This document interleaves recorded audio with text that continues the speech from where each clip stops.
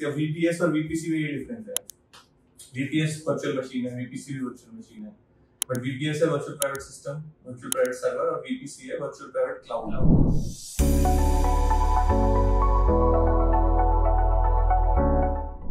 Cloud में ये है कि मेरा सर्वर को मैंने डिसाइड किया कि दो जीबी रैम का रहेगा। बट वो लिमिटेड नहीं है दो जीबी रैम तक अगर उसको ज़्यादा की ज़रूरत पड़ी तो तुरंत उसमें ऐड हो जाएगी। वो इलास्टिक नेचर जो बोलते हैं, वही एडब्ल्यूएस ने तो स्टार्ट ही करा था कि हम इलास्टिक है। इलास्टिक का मतलब ये था कि तुम्हें शुरू में तुम बोलो दो जीबी हम दो जीबी देंगे।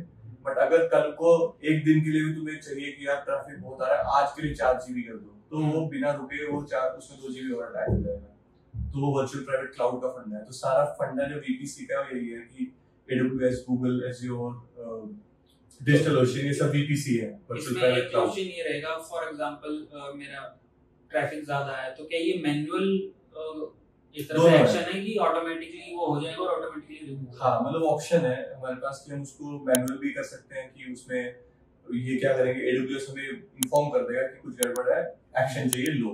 या हम उसको ऑटोमेटिकली कर सकते हैं कि जब ऐसा हो तो इस इतने तक तो तुम ऑटोमेटिकली कर देना। अगर मेरा सर्वर दो जीबी रैम का है तो आठ जीबी रैम तक करने से पहले सोचना मत अगर ज़रूरत पड़े तो हम्म। उसका फिर कॉस्ट भी तो लेते हैं जब उसमें एडिशनल रिसोर्सेज अटैच करेंगे उसका हमारे पास कॉस्ट आएगा हम्म। तो वो एक चीज़ है जैसे हमारे पास अभी जो सर्वर है उसमें बर्स्टेबल वो है बैंडविड्थ हम्म। कि इतने तक तुम यूज़ करो कोई दिक्कत नहीं है उसके ऊपर जब मैं बर्स्ट करूँगा तो बर्स्ट पे भी अब हमारा जो चल रहा है क्योंकि हमारा करंट जो सेटअप है उसमें हमें फ्री मिलता है। कि इतना परसेंटेज बर्स्ट भी फ्री है कि ठीक है यहाँ तक हंड्रेड आवर्स का मैं तुम्हें एक्स्ट्रा पावर दे दूँगा बट हंड्रेड आवर्स से ज़्यादा जब तुम्हें एक्स्ट्रा पावर चाहिए उसका मैं तुमसे पैसा लूँगा तो वो एक्स्ट्रा पावर वीपीसी में आता है। क्लाउड तो इनफाइनाइट है। उसमें रिसोर्सेज उसमें रैम और वो सब की बहुत मशीन्स हैं तो वो प्लग एंड प्ले टाइप होता है और वो ऑटोमेटिक हो जाता है। तो सबसे बड़ा डिफरेंस वीपीएस और वीपीसी में है तो अभी जैसे हमने बात की थी कि शेयर सर्वर में कितनी कॉस्ट आई और उसकी क्या पावर रहती है कितना ट्रैफ़िक हैंडल कर सकता है सेम वैसे ही हम इसमें एक तरह से जान लेते हैं कि इसकी क्या कितनी पावर रहती है क्या कॉस्ट आती है और कितना ट्रैफ़िक ये हैंडल कर सकते हैं।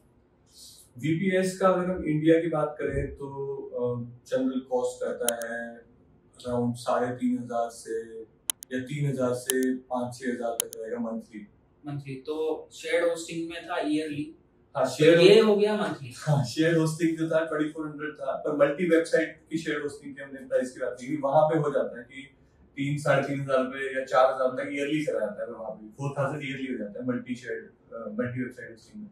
वीपीएस में मंथली थोड़ा हाँ, तो यही था यूज़र्स को थोड़ा कॉस्टिंग साइड भी समझ में आए हाँ। कि कितना तक पड़ जाता है। वीपीएस में पर ये है कि आपको 6 जीबी रैम या 8 जीबी रैम तक की मशीन मिल जाएगी। बट ऐसा होना काफ़ी मतलब इस लेवल तक पहुँचना काफ़ी लंबा आई थिंक टाइम लगता है और काफ़ी मुश्किल भी रहता है। तो ये होता है कि अब फॉर एग्जांपल अगर हमारा हमने 4 जीबी रैम या 8 जीबी रैम का एक सर्वर कर रखा है तो अब वो कितना ट्रैफ़िक हैंडल कर पाएगा इन टोटल उसकी कैपेसिटी क्या है? कैपेसिटी तो अब ये चीज़ काफ़ी डिपेंड करती है कि हमने कोड किया हमारी वेबसाइट कैसे अगर मैं नॉर्मल एचटीएमएल पेज होस्ट करता हूँ तो मेरे पास सर्वर पे कोई खास लोड ही नहीं पड़ेगा। तो वो कर सकता है अगर मैं चार जीबी इसके लिए हम ये करते हैं कि एक टर्म यूज़ होती है कि एवरेज पेज साइज़ क्या है आपकी वेबसाइट का। क्योंकि वही एवरेज पेज साइज़ डिसाइड करेगा कि सर्वर कितना रिसोर्स यूज़ कर रहा है। तो हम उसको दो एमबी दो मेगाबाइट का लेके चलते हैं। वैसे काफ़ी लोगों का कम भी रहता है बट दो मेगाबाइट ये कि ऑन एवरेज रहता ही रहता है। हम्म। तो उस दो मेगाबाइट के एवरेज पेज साइज़ के हिसाब से सर्वर कितनी ट्रैफ़िक हैंडल करेगा अगर चार जीबी रैम के सर्वर की बात करें तो मेरे हिसाब से डेली ट्रैफ़िक अगर एक लाख भी रहे डेली सुबह सुबह दिक्कत नहीं आनी चाहिए। पेज व्यूज़ की बात कर रहा हूँ ओके तो ये अब यहाँ पर सेम चीज़ हो गई कि थ्री थाउज़ेंड साढ़े तीन हज़ार में हमने dedicated sorry shared I think server जब लिया था तो वो एक लाख दो लाख का ट्रैफ़िक जो है महीने में हैंडल कर सकता था। वही हमने दिन में वो दिन में कर सकता है। अब उसमें वही है कि चीज़ें चेंज हो जाती है। अगर हमारे पास हम कोई server side programming language use कर रहे हैं सर्विसेज़ हैं माइस्क्वेल डेटाबेस सेटअप कर रहे हैं तो वो चीज़ें थोड़ी थोड़ी स्लो होती चली जाएँगी तो ये सर्वर पे जितनी चीज़ें डालेंगे उतना फॉर एग्जांपल जैसे अगर टूल्स हैं तो क्या वो अलग तरीके से सर्वर यूज़ करेंगे लेट्स से जैसे अभी हम स्टडी टुनाइट में कंपाइलर्स इंट्रोड्यूस कर रहे हैं तो कंपाइलर्स हम्म। अलग तरीके से सर्वर यूज़ करेंगे और जो वेबसाइट हम्म। है वो अलग तरीके से तो वो रिसोर्स अलग अलग हो जाएगा हम्म। वो सब अलग हो जाएगा मतलब ये है कि फॉर एग्जांपल अगर हम पीएचपी की बात करें या पीएचपी पाइथन किसी प्रोग्रामिंग लैंग्वेज की बात करें तो डेटाबेस एक है। डेटाबेस से हमारी क्वेरी वगैरह चल रही है कम्युनिकेशन चल रहा है।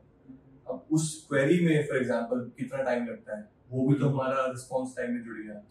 तो अगर मैं पहले एक लाख रिक्वेस्ट प्रोसेस कर पा रहा था मेरे को एक्स्ट्रा टाइम लग रहा है डेटाबेस से डेटा लाने में। हम्म। तो सब चीज़ें बहुत काफ़ी सारे फैक्टर्स हैं जो किचन आ जाते हैं बीच में।